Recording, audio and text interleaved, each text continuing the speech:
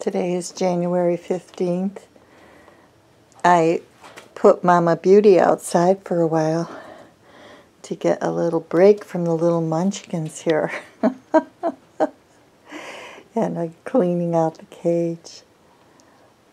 They've been having a wonderful time hopping around now. They've decided to eat their pellets since I took everything else out to clean. they are darling. They are so cute.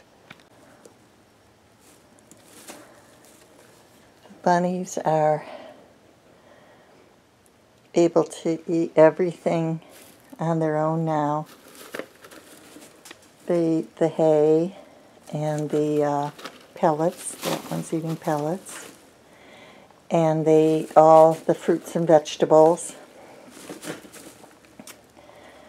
When I bring Mama in here, she'll nurse them later.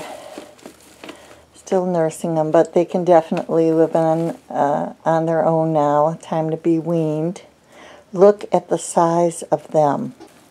These are very they're they're going to be big bunnies. They're delightful. They are so cute. And they're real friendly because I've been handling them. So petting them and everything and so that they uh, face so that they're used to people. Yeah. Yeah.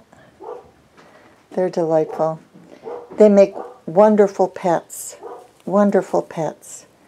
And mine are spoiled. I have a big pens outside for them to run in and um, then I keep them in the garage here when it's cold or too hot with a fan or, you know, raining too much. I pamper them.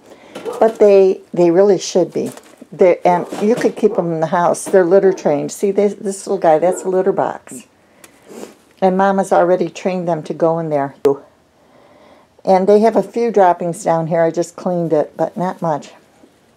But you can rig something in the house and just clean every day. I end up cleaning this every day now.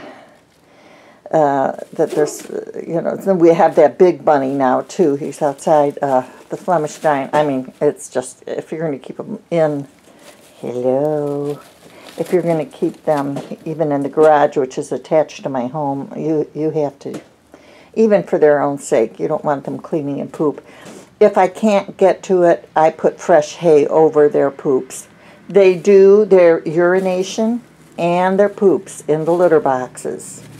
So it's something like a cat box. They're delightful. They are delightful.